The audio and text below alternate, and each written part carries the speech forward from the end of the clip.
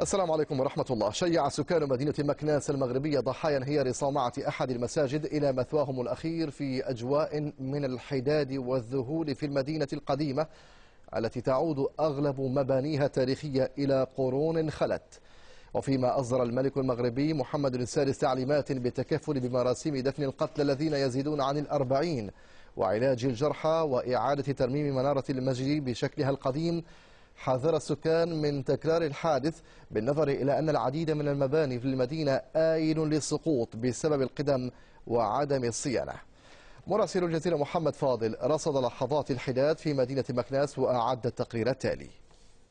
ما عرفنا واش ميت واش نقلبوا عليه في مختفى بقينا نحيين ولا في سميتو في شنو تحت وقع الصدمة تجمهروا أمام المستشفى بحثا عن ذويهم. لعلهم في قائمة القتلى أو المفقودين حيث لم يجدوا لهم أثرا في قائمة الجرحى.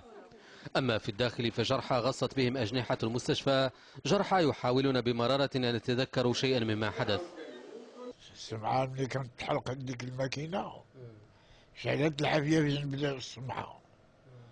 هذيك هي باش ما داوها شي فيها بقات حتى تهبطت غير الستة أغلب الجرحى تلقوا العلاج في هذا المستشفى أما بعض الحالات القليلة فتم نقلها إلى مستشفى بمدينة فاس المجاورة. الاسمنت في ديك المرحلة فاش تبنى المسجد؟ ما كانش الاسمنت المسلح ما كانش. اللي كان تيخلي على أن إمكانية أن بعض الناس يبقاو تحت هاد الأنقاض ولكن كيحافظوا على إمكانية ديال التنفس واللي يمكن تمشي لهم بعض الأطراف ديال شيء من هذا القبيل. وحدة الحماية المدنية معززة بوحدات من الجيش واصلت الليل بالنهار. فالحديث عن المفقودين يعني مزيدا من المصلين ما زالوا مطمورين تحت الركام وهو ما يشجعهم على مواصلة رفع الأنقاض. انقشع ضوء الصباح ليكشف حجم الفاجعة.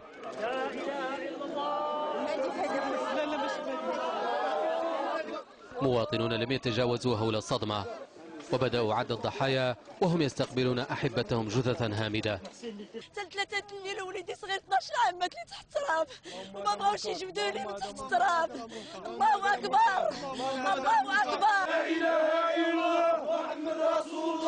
في كل زقاق وكل بيت من أركان المدينة القديمة حزن ونواح وحداد. حين بدأ الأهالي يشيعون قتلاهم. إذ كان هذا الحي المتضرر الأكبر بحكم قربه من المسجد.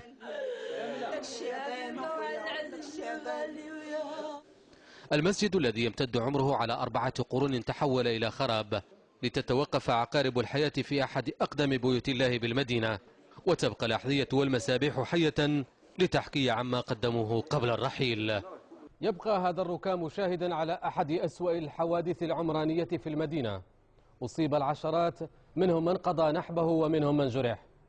محمد فاضل جزيرة مكناس وسط المغرب.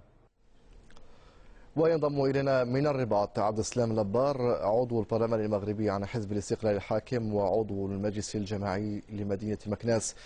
أستاذ لبار طبعا التحقيق ما زال جاريا لتحديد المسؤوليات ولكن حينما نسمع بأن المواطنين مرارا توجهوا إلى السلطات المحلية وأبلغوا عن احتمال أن ينهار تنهار الصومعة وفي صبيحة اليوم الذي وقعت فيه الصومعة كان المواطنون يبلغون السلطة المحلية بأن الصومعة مائلة من يتحمل مسؤولية إذن؟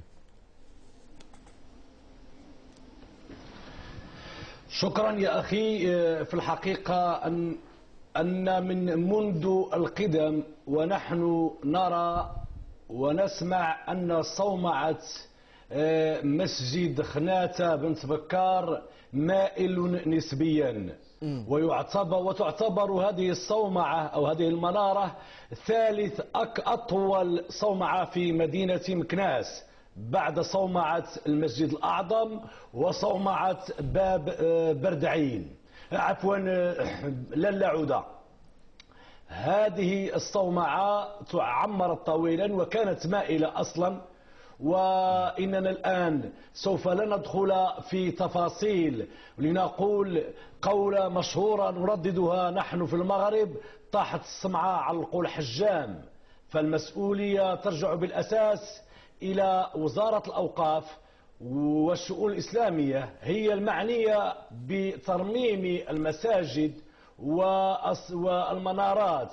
ولكن سوف لا نستبق الحدث فالتحقيق لا زال جاريا وسوف لن نسمح بأن تذهب أرواح الشهداء أرواح المؤمنين هدرا. بل إذا ثبت التحقيق بأن هناك مقصر فالقانون سيأخذ مجراه. لكن المسؤوليات المشكلة المسؤوليات هنا مسؤولية شائكة معقدة.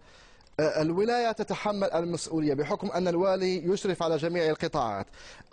وزارة الأوقاف تتحمل المسؤولية بحكم أنها تشرف على المساجد ولديها ميزانية مخصصة لترميم والعناية وصيانة هذه المساجد. المجلس البلدي أيضا مسؤول بحكم أنه هو الذي يحدد المباني الآية للسقوط ويبلغ السلطات المحلية التي يفترض أن تتخذ الإجراءات اللازمة.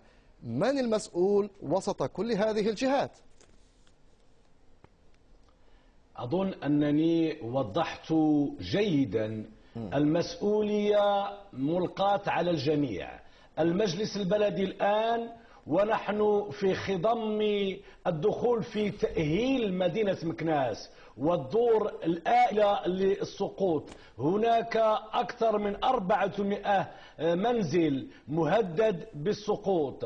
وعلى المجلس البلدي أن يقوم بواجبه في ترميمها وتأهيلها. لكن هناك الأولوية بأكثر من حوالي 200 دار. 200 دار آه، الآن تم إخبار ساكنتها بالخروج منها غير أنهم أبوا لأن لا ملجأ لهم. لكن أستاذ البار الإحصاء الرسمي للدولة يقول بأن نعم. هناك 700 دار في مدينة مكناس العتيقة آيلة للسقوط وليس 200 دار.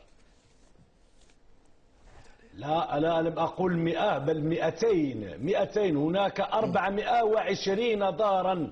بحسب الإحصاء الذي الذي نتوفر نتوفر عليه في بلدية مكناس هناك 420 ومنها 200 200 دار مهددة وطلب المجلس آه، نعم. عن طريق السلطة نعم.